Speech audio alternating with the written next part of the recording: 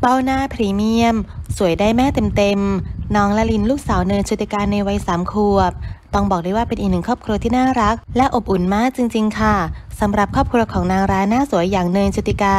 ซึ่งตอนนี้เจ้าตัวมีทายาทมาเติมเต็มความรัก และสร้างความสุขให้กับครอบครัวแล้วสองคน อย่างน้องอาคิน และน้องละลินค่ะ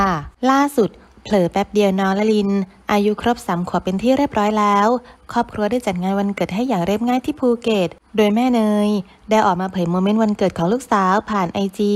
พร้อมกับระบุแคปชั่นเอาไว้ว่า หนูละลินสามขวบค่ะ2ทับ4ทับ66แม่รักหนูมากๆนะคะ สุขภาพแข็งแรง เป็นเด็กดีน่ารักสดใสตลอดไปค่ะ